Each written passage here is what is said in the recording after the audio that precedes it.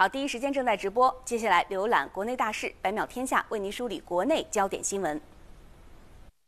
记者二十五号从教育部了解到，教育部日前印发通知，公布首批二百零一所全国急救教育试点学校名单和试点工作实施方案。通知要求，利用学生军训、体育与健康课、学生社会实践等渠道，开展学生急救知识普及和技能培训。试点学校每年至少培训一百名学生，组织开展学生急救知识和急救技能展示活动。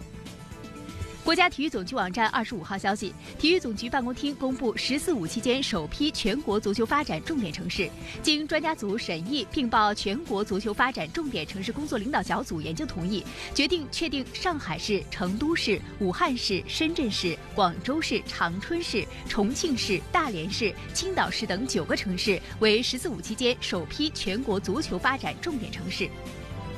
国新办昨天举行新闻发布会，商务部有关负责人介绍，二零二一年我国成为全球第二大商品消费市场，二零二一年最终消费支出对经济增长贡献率达百分之六十五点四，城乡市场同步恢复。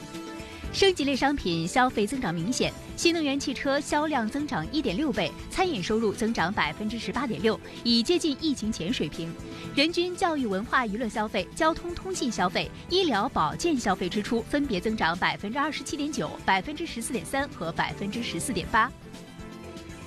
近日。财政部、交通运输部印发关于调整农村客运、出租车油价补贴政策的通知，对涨价补贴部分做适当调整。其中，农村客运涨价补贴主要用于支持农村客运发展，出租车涨价补贴主要用于支持城市交通领域新能源汽车运营。